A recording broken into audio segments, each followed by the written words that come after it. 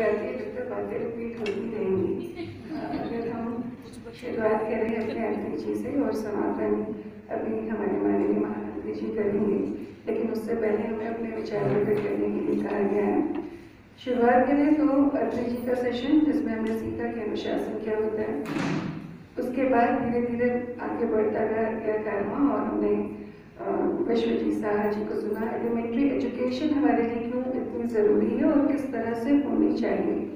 विद्या भारती से मेरा अनुरोध है कि शिशु वाटिका और प्राइमरी विभाग इसमें जो हमारी किताबें लगी हुई हैं, हमने यहाँ पर बहुत बड़े बड़े सेशन अटेंड किए। मैंने मॉन्टेसरी की बुक्स देखी वाचन माला और वो किताबें जो यहाँ पर उनकी बैठी हुई हैं, जो हमारे शिशु वाटिका विभाग को देखती हैं। अगर उन किताबों को देखें और उस बच्चे को देखें तो मुझे लगता है कहीं ना कहीं उसके दोनों के बीच में तारतम्य और ज़्यादा होना चाहिए।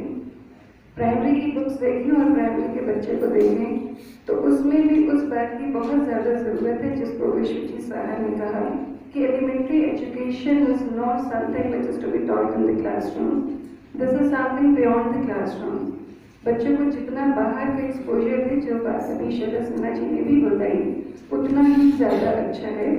बाहर एक्सपोजर का ऑब्वियसली बाहर घूमना नहीं है। बच्चों को पेड़ का दो पत्ते दिखा के भी बताया जाता है कि हल्का रंग कौन सा है और गाढ़ा कौन सा है। ऑपोजिट हम वहाँ से भी सिखा सकते हैं।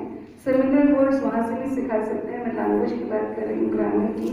इसी तरह से अपने अपने सब्जेक्ट से रिलेटेड बच्चे को बाहर की एजुकेशन दी जाए तो कहीं ज़्यादा अच्छा है। उसके बाद अगर मैं काशी जी का सेशन देखूँ तो मुझे लगता है कि हमारे मन की बात उनको हमने ये बोला भी कि, सर, यहाँ पर आपने पूछा कि बड़े परिवारों की सुविधा क्या है और असुविधा क्या है?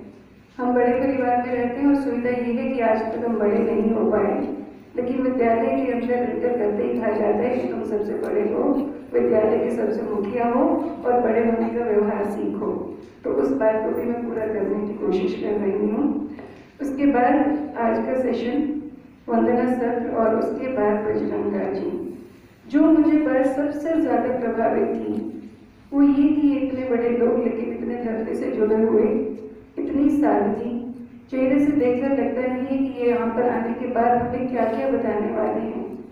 लेकिन उनके अंदर ज्ञान का भंडार। लगता ऐसा था कि वो बोलते रहें और हम सुनते रहें लेकिन समय की मर्यादा है और मुझे भी यहाँ पर बोलना बंद करना पड़ेगा ताकि अगले को चांस बन सके। धन्यवाद।